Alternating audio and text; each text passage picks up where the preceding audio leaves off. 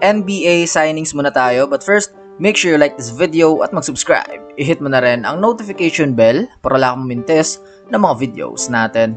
First, para sa Boston Celtics, they will sign Noah Vonleh to a one-year deal. Pero kailangan niya pang makipag-compete sa paparating na training camp para makapasok sa final roster.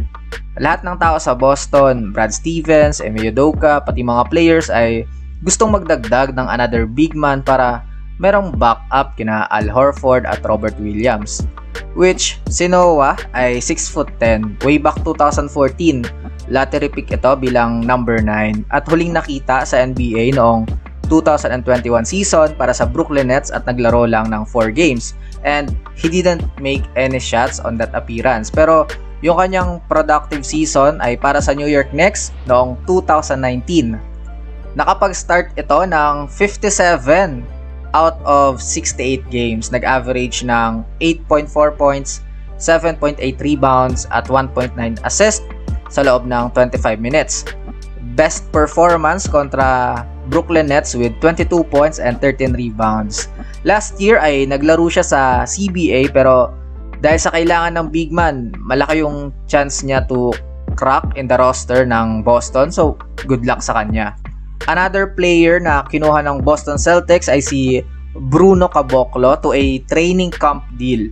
Pwede siyang 4 or 3. Magkabatch nga sila ni Noah noong 2014. Si Bruno ay 28th pick overall naman.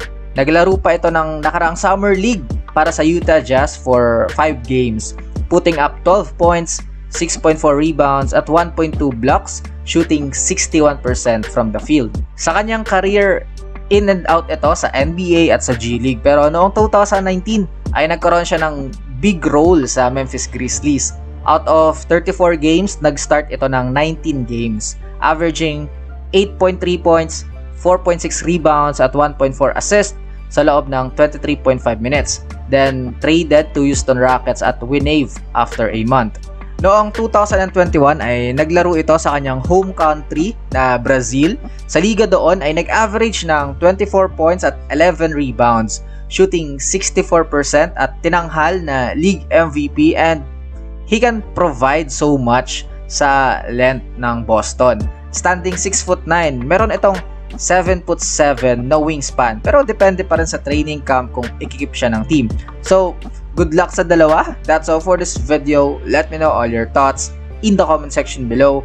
I will now step back. Bye-bye.